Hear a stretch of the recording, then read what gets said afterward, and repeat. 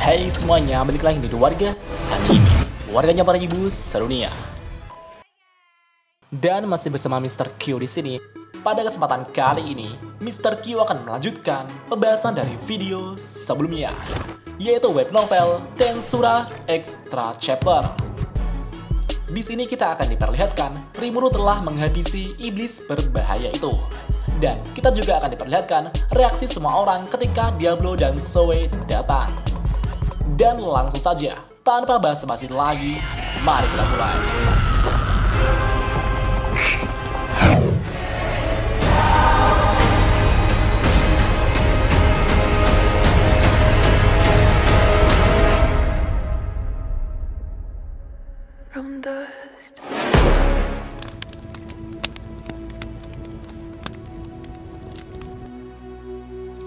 Di saat situasi semakin berbahaya, Satoru berjalan menuju garis depan dan memutuskan untuk mengakhiri sandiwara ini.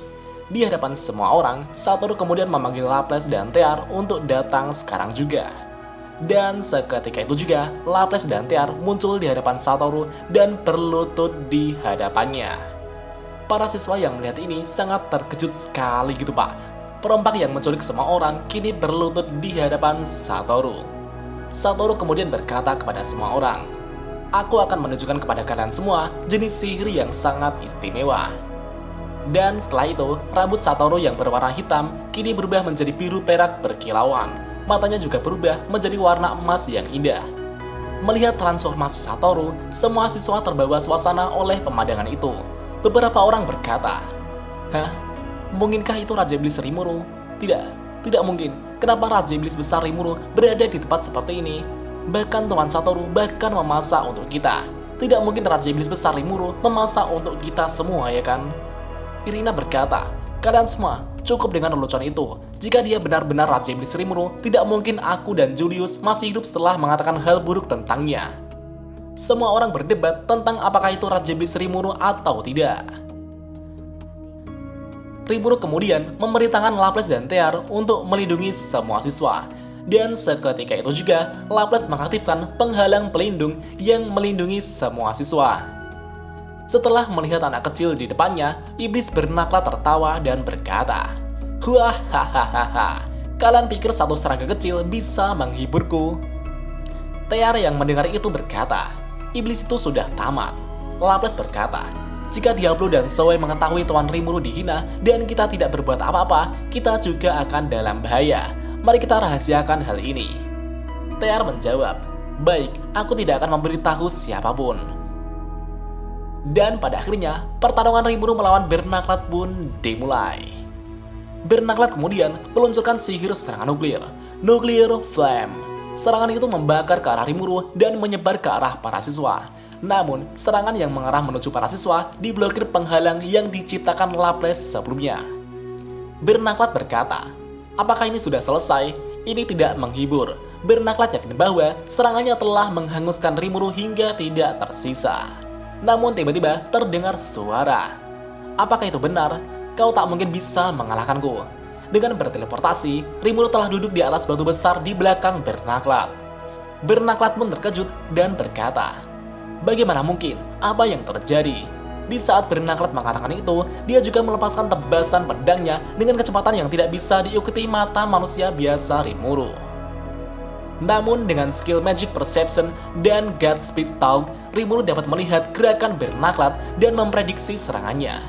Rimuru kemudian menghindari serangan itu dengan berteleportasi. Tebasan Bernaklat mengenai batu yang diduduki Rimuru hingga terbelah menjadi dua bagian. Dan seketika itu juga, Rimuru tiba-tiba berada di depan dada Bernaklat dan melepaskan pukulan imajiner dengan kekuatan minimum. Dan duar, Bernaklat terjatuh pingsan karena kesakitan. Sebagian besar energi Bernaklat juga menghilang setelah menerima serangan Rimuru. Meskipun itu adalah serangan yang ditekan seminimal mungkin, tangan Rimuru telah patah. Namun dengan Godspeed Regeneration, tangan Rimuru pulih kembali. Itu karena saat ini Rimuru telah menggunakan tubuh yang dirancang Ciel agar seperti manusia biasa. Bernaklat mulai bangkit kembali dan berkata, Tunggu sebentar, siapa kau sebenarnya? Rimuru menjawab, Kau tidak perlu tahu siapa aku. Tapi, aku akan memberitahumu bahwa tatanan dunia ini dikelola oleh oktagram. Kekuatanmu sedikit terlalu kuat dan harus disingkirkan. Setelah mendengar kata oktagram, Bernaklat sangat terkejut dan ketakutan. Rimur kemudian menawarkan sebuah kesepakatan. Jika kamu setuju untuk mengembalikan tubuh itu, aku akan memberimu seribu tahun malapetaka.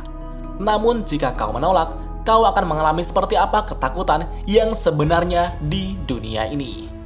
Segera setelah Rimuru memberikan sedikit teror dengan Void Gate Azdazot, Bernaklat menyadari adanya kekuatan di luar pemahamannya yang berada di hadapannya. Itu adalah kekuatan yang luar biasa hingga membuat Bernaklat gemetar ketakutan. Bernaklat pun menjawab kesepakatan yang dibuat Rimuru. Saya akan bertobat atas kebodohan yang membuatku melawan Anda. Saya akan menerima seribu tahun malapetaka dari Anda. Rimuru berkata, keputusan yang sangat bagus. Aku akan mengizinkanmu bekerja untukku setelah seribu tahun nantinya. Dan setelah itu, Rimuru memurnikan Bernaklat. Seketika itu juga, tubuh spiritual Bernaklat meninggalkan Magnus lalu berubah menjadi debu. Bernaklat akan bangkit kembali setelah seribu tahun ke depan. Di saat lenyapnya Bernaklat dari tubuh Magnus, Rimur berpura-pura menggunakan cahaya misterius untuk terlihat keren di hadapan para siswa yang melihatnya. Dengan begitu, setiap siswa yang telah menonton akan menganggap Rimuru menang dengan menggunakan sihir yang sangat keren. Dan pertempuran pun berakhir. Magnus di sana masih terlihat tidak sadarkan diri, sedangkan Irina dan Rosary terlihat tidak mampu bergerak karena efek samping dari serum penguat yang disuntikan pada dirinya sebelumnya. Guru William pun mengikat mereka berdua. Setelah melihat kemenangan Satoru, sorakan meriah dari para siswa pun bergema di sana. Rimur bertanya kepada para siswa, apakah kalian melihat sihir istimewaku? Semua siswa berdiri mengangguk dengan sangat senang. Dan setelah itu, tiba-tiba muncullah guru Jujilas. Jujilas sebelumnya telah pergi ke pantai untuk mengirimkan pesan kepada organisasi pusat untuk segera mengirimkan bantuan ke pulau ini. Jujilas muncul dari lingkaran sihir setelah Rimuru mengalahkan Bernaklat, jadi dia tidak mengerti apa yang baru saja terjadi. Irina dan Rosary berkata kepada Jujilas bahwa ini telah berakhir, kita sudah kalah. Namun Jujilas berkata, apa kalian bodoh? Pasukan bantuan dari organisasi sebentar lagi akan datang ke sini. Para perompak dan semua orang tidak akan bisa berbuat apa-apa. Karena Irina dan Rosary telah melihat kekuatan Satoru, dia meyakinkan Jujilas bahwa ini sudah berakhir. Tapi, Jujilas mengabaikan perkataan Irina dan berkata, itu adalah hal bodoh untuk dikatakan. Kepala sekolah Godama akan berduka ketika mendengar hal ini dari kalian. Dan pada akhirnya, sebuah pesawat dari organisasi telah tiba di sana. Jujilas yang melihat itu pun sangat senang. Namun, orang yang turun dari pesawat bukanlah prajurit yang diharapkan Jujilas, tapi itu adalah Diablo. Guru Piuri dan para siswa pun bersorak histeris ketika melihat Diablo. Di mata para wanita, Diablo adalah sosok pria yang sangat tampan. Namun di satu sisi, setelah Jujilas melihat Diablo, dia pun terkejut dan pingsan seketika. Meskipun Diablo sangat tampan, tapi dia adalah bawahan Raja Iblis besar Rimuru yang paling berbahaya. Setelah itu, Zoe juga turun dari pesawat dan berdiri di samping Diablo. Para siswa yang melihat Zoe berteriak histeris dan berkata, Siapakah itu? Siapa pria yang berdiri di sebelah Tuan Diablo? Dia sangatlah tampan sekali. Zoe yang kurang dikenal semua orang menjadi pusat perhatian. Meskipun begitu, Diablo dan Zoe masih sangat tenang. Diablo dan Soy pun mendekati Rimuru dan berlutut di hadapan Rimuru. Dan seketika itu juga, para siswa yang masih meragukan bahwa Satoru adalah Raja Iblis Rimuru akhirnya percaya bahwa Satoru sebenarnya memanglah Raja Iblis Rimuru. Semua orang bergumam, Hah? Raja Iblis besar Rimuru? Itu nyata. Dia sangatlah cantik sekali. Beberapa siswa terpana hingga mengeluarkan darah dari hidungnya dan pingsan seketika. Irina di sana berkata, Hah? Tunggu, jadi aku mengoceh tentang rencana kami di depan Raja Iblis Besar Rimuru? Julius berkata, Hah? Aku sebelumnya juga berkata tentang membencinya. Semua siswa pun berteriak histeris. Dan setelah itu, para siswa dan semua orang lainnya pun akan dikirim menuju ke Inggrisya sesuai tujuan awal mereka. Di dalam kapal terbang, Rimuru telah mendengarkan hasil laporan dari Diablo dan Zoe. Diablo juga memperlihatkan sebuah benda kepada Rimuru yang di dalamnya adalah Godama yang terlihat bagian-bagian tubuhnya dimakan lipan dan menjadi pohon. Orang ini membuat kesalahan besar, aku telah menghukumnya. Dan seperti yang ada perintahkan, saya menahan diri untuk tidak mengambil nyawanya. Rimuru bertanya, jadi apa yang akan kau lakukan dengan itu nantinya? Diablo menjawab, aku akan memberikan ini kepada Anda sebagai hadiah. Rimuru menjawab, Hah? Aku tidak menginginkan itu. Diablo berkata, jadi haruskah aku membakarnya sekarang? Mendengar percakapan Rimuru dan Diablo, Godapa di sana menangis kesakitan. Dia merasa sangat sakit, tapi tidak bisa mati. Dia juga tidak bisa pingsan, bahkan menjadi gila. Rimuru kemudian memutuskan untuk menjadikannya contoh untuk orang-orang bodoh di kemudian harinya. Godama akan dibebaskan setelah bertahan 100 tahun ke depan, dia akan jauh lebih kuat secara mental jika dia keluar dari kondisi ini setelah 100 tahun. Dan setelah itu, Rimuru juga memberi hukuman kepada Jujilas untuk bekerja sebagai cleaning service di labirin Ramirez. Selama dia memakai gelang ajaib, dia akan hidup kembali ketika dimangsa para monster labirin. Setelah itu juga ada Magnus, Rosary, dan Irina. Irina berkata, Shinji Tanimura, Mark Lauren, Shin, dan temanku lainnya telah terbunuh Meskipun mereka terbunuh oleh bawahanmu, itu sama saja kau yang membunuhnya. Jadi, bunuh sajalah aku. Dan tanpa basa-basi, dia belum mulai bergerak. Namun, Rimuru menghentikannya. Setelah mendengar nama-nama itu, Rimuru sedikit terkejut. Rimuru dengan tenang berkata, apa kau tahu mereka masih hidup? Shinji, Mark, Shin, dan beberapa orang lainnya kini terobsesi dengan penelitian di labirin Ramirez. Irina berkata, apa yang kau katakan? Aku tidak akan tertipu semudah itu. Rimuru menjawab, Irina, jika kau tidak percaya, mengapa Anda tidak pergi dan melihat mereka secara langsung? Tapi dengan satu syarat, kamu juga harus bekerja sebagai peneliti di labirin. Dan jika Anda menolak tawaran ini, Anda akan dikenakan hukuman 100 tahun. Dan kau juga tidak akan bisa memastikan perkataanku benar atau tidak. Sekarang terserah pilihanmu.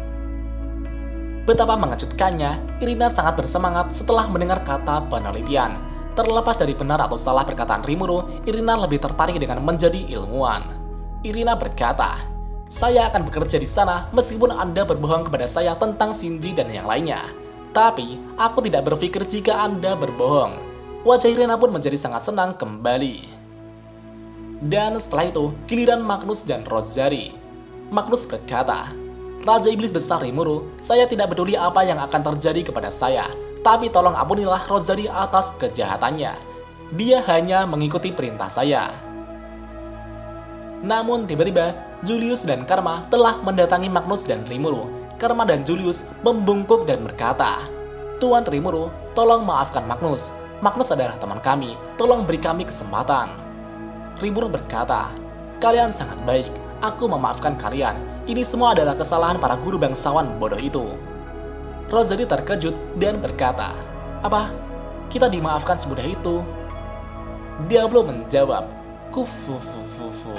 Bolehkah aku memberitahumu sesuatu? Ketika Tuan Rimuru mengatakan dia mengampunimu, dia telah mengampuni semua kesalahanmu. Tapi jika Tuan Rimuru tidak memaafkanmu, kalian semua pasti sudah musnah seketika.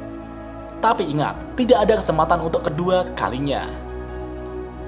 Rimuru berkata kepada Julius, Oh ya Julius, sebelumnya kamu berteriak tentang betapa kamu membenciku ya kan? Mendengar itu, Diablo dan Soy pun menatap Julius dengan wajah yang sangat mengerikan. Julius pun ketakutan hingga meneteskan air mata. Namun Rimur berkata, Aku bercanda, semua dimaafkan. Hahaha. Dan dengan begitu, pembersihan besar-besaran di setiap akademi telah selesai. Para siswa yang menganggap negatif Raja Iblis Rimuru telah mengakui kebaikan Raja Iblis Rimuru. Setelah insiden itu, Julius, Magnus, Karma, dan teman sekelas mereka menjadi pejuang legendaris yang namanya tercatat dalam sejarah sebagai orang-orang yang pernah memakan masakan Raja Iblis besar Rimuru. Dan kita lanjut di part selanjutnya.